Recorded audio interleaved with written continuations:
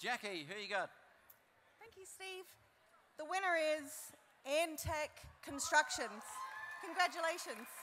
Yeah. Antech Constructions, Anthony Fatini to accept the award. Anthony? Dynamic design, elegance, luxury, peace and tranquility have been created in this space.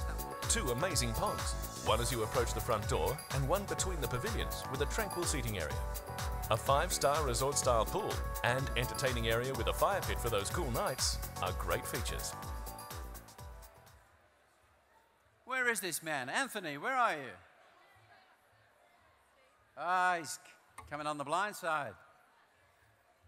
Congratulations to An- Antech Constructions and many thanks to Jackie Yappas and TFH. Give them a round of applause. Thanks for the support.